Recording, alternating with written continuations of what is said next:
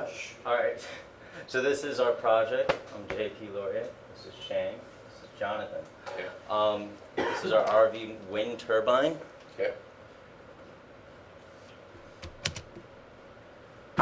You can close that little job update window.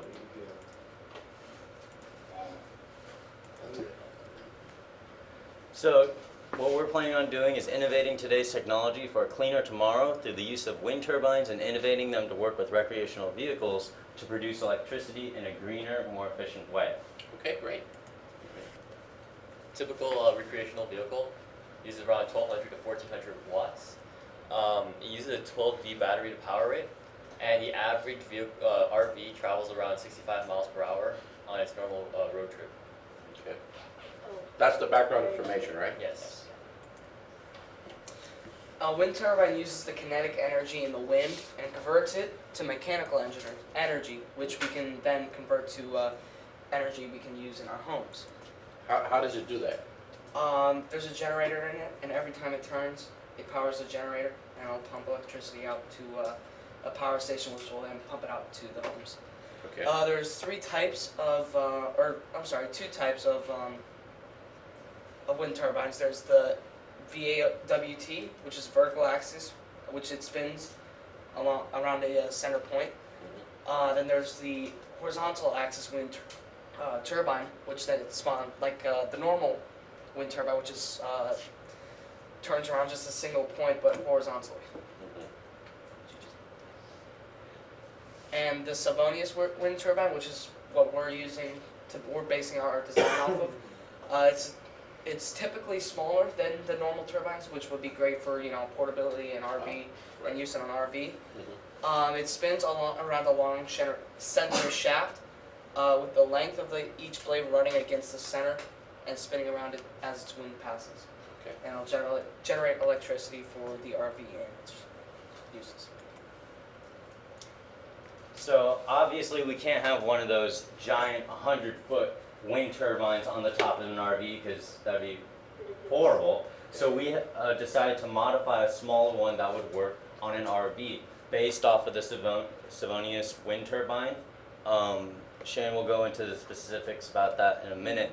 However, we want to use this and place them in specific points on the RV so that as the RV travels, usually on road trips uh, cro- cross country, that it will pick up the wind as it travels and be able to convert that into energy. So basically, as it's driving, it's not only getting you from point A to point B, but also producing your electricity. Mhm. Um, Jonathan will go over exactly where they are, or Shane will go over. Alright, basically what we did was we, this is just a general proto, like just a rough sketch of it. Wow. Um, as the wind is going over the blades, it'll basically push the blade to the other side and it'll catch this blade and it'll keep turning and turning and turning and generate, generating electricity. Uh, what this allows is it can be placed anywhere, prac- practically anywhere on the RV where that gets wind, like on the sides, at the top, and under the grill, uh, maybe, maybe even under the RV if uh, we're crazy enough. Uh, um, yeah, so, um, and it'll be connected to a center shaft, which will then power the RV and power appliances like stoves, TVs, grills. We decided to have it go horizontally across because that way it wouldn't be as tall, so it could still go under uh, bridges and Right. different low areas Right. and still produce that electricity the efficient. Jonathan, what Oh, pitfalls do you see? Oh no, we're gonna go. There's another slide. Okay, We're go ahead, done. I'm sorry. Alright, so in order to get the most use of the this Savius uh, bot, what we're gonna use is uh at first we're gonna can I write on this? Yeah, of course, At first, absolutely. We're gonna encourage you to do that. So right here. But then we realize that as the RVs keep traveling, the wind's gonna be spread out along here. Uh-huh. So in order to get the maximum amount of uh, energy, we're gonna put it around here in the Inside. grills. Inside the grill. How, how would that interfere with the uh, operation of the engine? Because doesn't, doesn't the engine need uh, an intake, air intake? We don't really need to uh, modify all that much. We can still use the same air that we use to power the RV to cool down the engine. Uh-huh. It will require slight modifications, but you can still recycle that same air. Right, So basically what we're doing, it's not so much modifying the entire engine of the RV, but just adding to it. okay, And even if we uh, put some in there, it won't take up the entire grill space. So you still have an area that it'll go, the air will flow through, and as the wind, if the wind will go. It, the wind doesn't stop at the uh, wind turbine; it goes through it. So it'll Right. just still go through the engine, even though it's hitting the uh, wind turbine. oh, okay, And additionally, we're planning on putting another uh, la- uh, turbine right here. okay. Not exactly on the back, but connected to right there. Basically, we're gonna set it up so there's always one blade above the RV and one underneath, so Right. that you don't have the wind pushing on both, Mhm. But only on one, so that's continuous. Okay. Okay, um, what, what problems do you anticipate encountering trying to implement this technology? Anybody? Um, well, we're gonna have to figure out, make it sturdy enough so that it can not only, you know, produce the electricity, but we also need to make sure that it can withstand those winds Okay, of, you know, sixty-five miles. Okay. And we also have the problem of low-hanging trees and uh, low, like low-hanging buildings. Mm -hmm. Um, but we're also planning to make it so that you push a button in the RV and it might swing down behind the like the the one in the rear might swing down behind the RV, so you, so it doesn't really interfere with the trees or anything. okay, go back to the, um, slide where you're showing me the inventor file. Yeah. Oh, you gotta you gotta close it up there. Up, up, yep. Just wait. There, there we go. Okay, um, what's your next step here? Uh, our next step is to attach it. Well, let's to refine the design, make it more portable, more functional. Do some more- research, see which, um, experiments have shown which design would be best, whether or not we want it to be double bladed like that, or like this with one blade going up and next with one blade going down. Okay, And then we would attach a, uh, obviously a generator, and uh, maybe implement it on a car or RV of some sorts to, as a prototype okay, uh, to see where, where, uh, how much power we would actually produce right, um, when an RV or a car is typically typically going at uh, 55, 60 miles an hour. okay. Jonathan, what, um, as a group, as a team, what problems did you encounter and how did you resolve them? Uh, our first problem was putting the, as I said before, the turbine on the top. No, no, I'm talking about as a team, working together as a We group. haven't really encountered any problems. Yeah, we've been doing pretty well. Okay, so you guys worked from the beginning till now very nicely as a group? Yeah. Okay.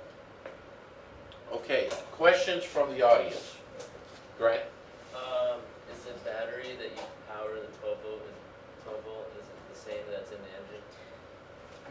Uh, Is, is the battery that, um, is gonna power this the same as the battery of, uh, of the RV? Possibly. We may end up powering the battery so that um, it, we have enough uh, ener- energy to uh, power the TVs, the stoves, etc. We also might add another battery, an alternate battery, uh, that can also that could just go straight to the outlets on the outside that can power stoves, batter or uh, stoves, TVs, and other appliances. Um, any other questions or comments? Manny? Um, would this replace the alternator on a car? Because an alternator is one thing that produces uh, electricity. So Excellent question. No, because it would. If we decide to implement an alternate ba- a second battery, it would not draw energy from the the car's original battery. So, in other words, it would not replace the alternator. If it's if there's an alternate battery, it would power the second battery, but the first battery might either be powered by the same energy produced by the wind turbines or by the alternator as well. Uh, questions, Morgan?